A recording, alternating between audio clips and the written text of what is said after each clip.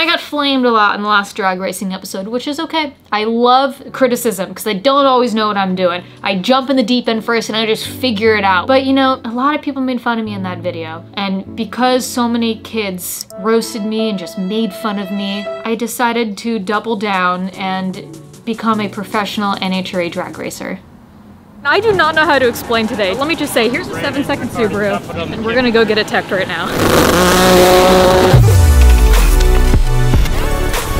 The next Return to Life collection is officially here. It is live now at HartfordLTD.com, and this is the Mental Health Car Club collection. And I want you guys all to be a part of my car club. We can be involved in it together. We have three really nice hoodies. They feel like they've been worn, which is what I love so much about them. So they're broken in and super soft. And one of my favorite things is on all the sleeves, they say, you're doing great, just as a friendly reminder. We also have a sand long sleeve shirt with the Return to Life. We got joggers. We got a t-shirt in the black as well. Return to Life jet tag.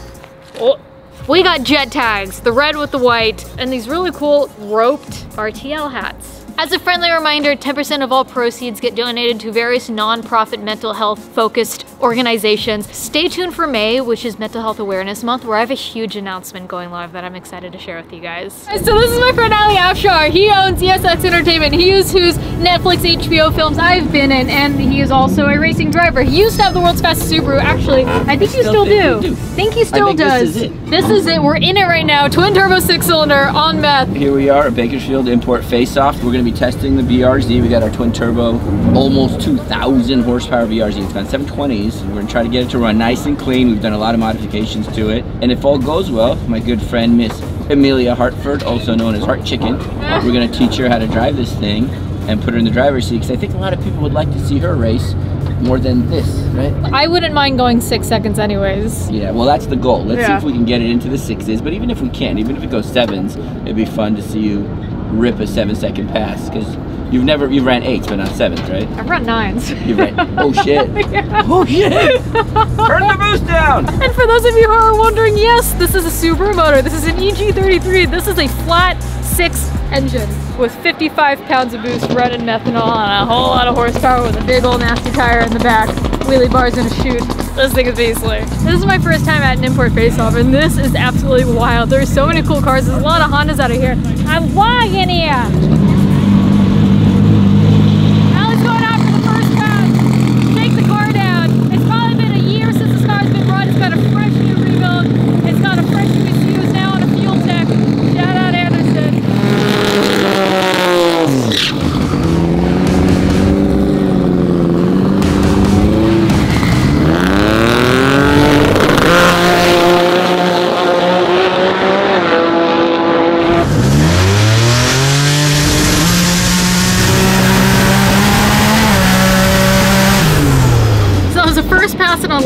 Launch. Launch was turned out a little bit, timing was pulled out a bit. We'll just make sure that the car drives straight, but overall pretty good. I'm hanging out the side, notice how this cool cool chubby racers race now. We don't get in. But yeah, that was the first pass, you know, test pass, first gear, second gear, soft launch, ran a 1 160. It felt good. Not not powerful because we turned on the boost, but it felt good. You guys know the drill. Tinker some things, go back out there. Oh, Ali's using my helmet since his expired because he hasn't been drag racing in a long time. It's been a whole year. There's cobwebs in this car. And my butt. Okay, we're currently staging to take another hit. You guys, oh my god, I have such craziness. And I guess, you know, from the title of this video, I am going to be taking over to professionally race as an ESX driver. And I'm going to be piloting this world's fastest Subaru behind me, which is to where it all started, baby. Never in a million years would I have thought that one day I'd be professionally racing a Subaru. That just sounds weird to say.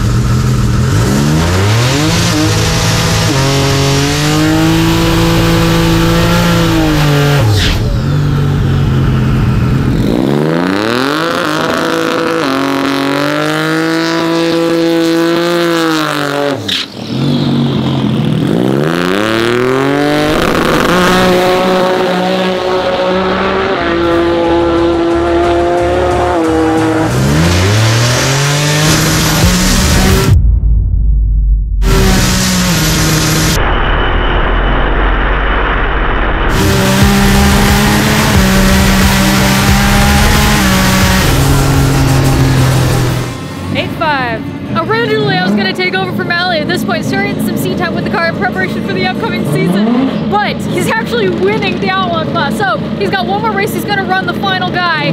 And whoever takes this wins Outlaw here at Import Face Off. Ali, you actually have to drive now. I do. So I said it last time we were here at the track, everyone here at Famoso Drag Strip is just family. And on top of that, Import Face Off, the guy who runs it, Cliff, has been so incredibly hospitable and amazing and sweet. So thanks Cliff for having us. I look forward to doing more with this, but I haven't told you guys everything yet. We're gonna have to rip that off and put Emelia Hartford. The idea is I'm actually going to be competing in NHRA this season. Are you rolling right now? Yeah. Let me see it. Let me see. me. Let me see. Why? So this is for the record with witnesses here.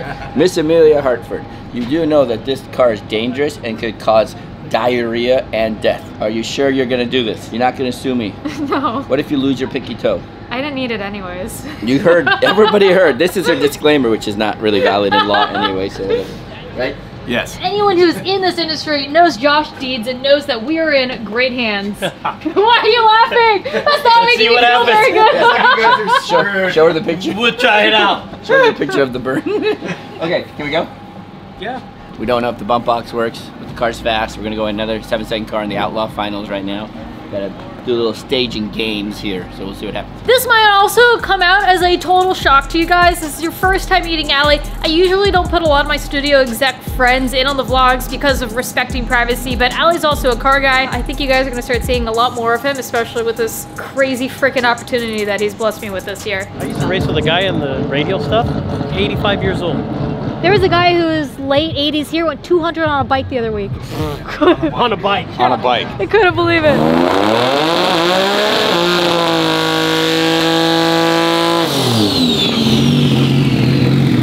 There's so much tire smoke inside.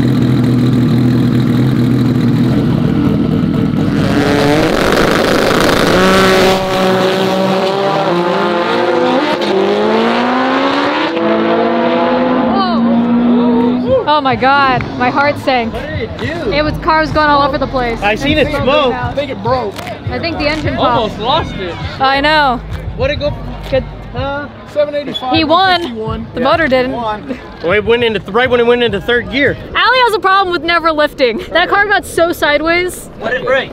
The hole underneath is oily. The top end, I was going like this. I, we seen We saw it. Going on to the point. I never lift. I had to lift. it blew a transmission line off. Dude, it was skating hard. Yeah, we Uh, watched First it. of all, In high gear. I didn't red light, right? no, you Did I won. win? Yeah, you won. But it's the transmission. You didn't need to say that. He bogged. He ran like a nine something. It wasn't. Recorded. I wasn't looking back. I know. I'm, I'm going for it until the very end. We're at, did we go sevens or eights? Seven eight. Well, the motor mm, still good then. I think the I don't know. It's just, if you look underneath the Yeah. whole, everything is soaked, dude. transmission line. It You blew popped it the off. line off.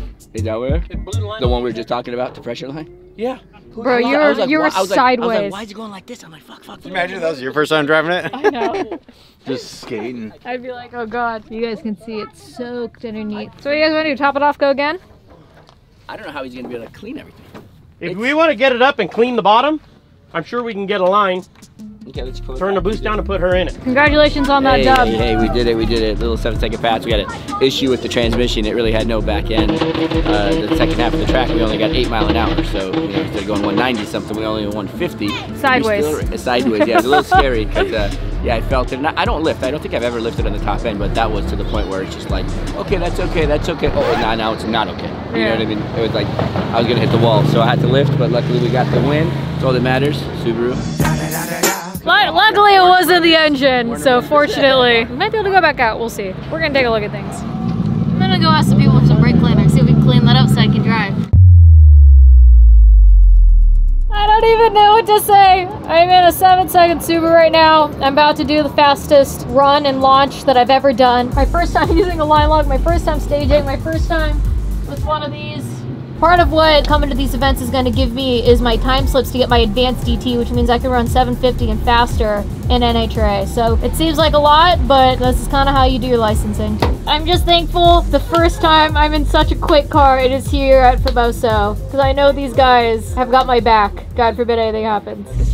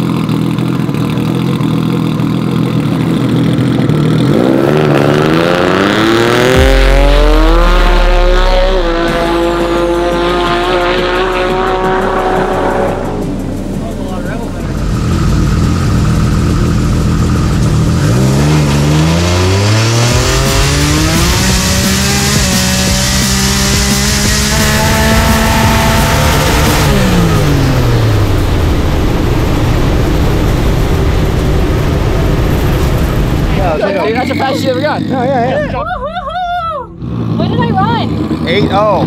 8 8 8 0 9. So much for lifting. Yeah, You it felt good, easy, right? it was slow. Yeah. It was slow. When it goes straight, it, it feels good, yeah. yeah. Thank you. How's the logs look? You left early. I didn't build enough boost to properly launch. I got overzealous, I got eager, and I just sent it. 1,000 RPM early and 25 pounds Oh early. Oh my god. But it's good. But it didn't shift into third because the CO2 bottle was empty anyway. Still ran an 8.0 pinning the limiter. What's with me and pinning these limiters lately? It's good for you. 17 pounds it at the lights. Here you guys go. Let's look at the actual time slip. Taking a look at this. This has just been a wild day. This all happened. We've been talking about this at Savannah Works for a very long time. Then all of a sudden I was like, we're doing this today. Come out. So I was like, I'm there. So quarter mile, 8093. Mile per hour, 151. This is the fastest I've ever been. Ignore the reaction times. My 60 foot was a 128. So the fastest I've ever been in a 60 foot was in the Sea Corvette, and that was a 1.3. So I'm gonna hang on to this one for a little while. Mr. Hollywood producer's taking my Cadillac back home. I I'm am, driving I the am. Jag. You got the This short is end of the faster. you got the short end of the deal. You got the Subaru, I got the Cadillac. Sure. Good job there, dude. 8 Let's see when the car's running right, it doesn't feel fast. It feels smooth. Sure. When I ran the 7.2, I was like, oh, this is clean, you know. Yeah. But then when it's shaking in this, it's nuts. Yeah, it felt good. Like a breeze. We'll see you soon. Driving home never gets old. Currently sitting in Ali's Jaguar since he stole the Cadillac. Sean was happy to drive this V8. It's slow. I'm flooring. Step on it! Supercharged or just old? I think it's supercharged. Okay. Yeah? It's got a little whine. There's a here. whine to it, but I can't tell if that's a supercharger or it's just old age. yeah, I a little supercharger little whine. whine. Yeah, there's a whine there. Man, today was amazing. There's a lot of gnarly, sick Hondas out there, a lot of sick cars. I'm showing up kind of new to the import face-off scene. I've actually never been to an IFO event before, but I will definitely be back. I had such a great time, and honestly, the crowd was very welcoming. But you guys, I ran my fastest pass in my entire life today. I ran an 8.0 at 151. It's insane. The car could have gone faster. And after looking at the video footage and looking at the data logs, I realized that one, I could not hear well enough. I didn't know when I left. I was so nervous about using a line lock, using a stage button, doing all these things um, that I didn't let the car build enough boost to launch, but that's okay. It took off. It was still a 1-2, which is still the fastest 60 foot I've done, but it was so loud in the car. Literally, it's a tin can and all the sound is like bouncing off the wall and I couldn't hear anything with the helmet, but I still sent it. They told me to lift after a second and I didn't, and I figured they just put a tune on it that wouldn't let me keep going, so I was just pinning the limiter, go to find out uh, that we actually ran out of CO2 on the bottle, so it wasn't shifting in the third, but now I know.